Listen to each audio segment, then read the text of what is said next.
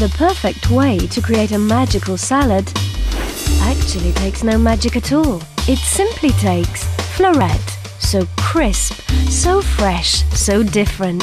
So for delicious salads, remember, never forget, Florette.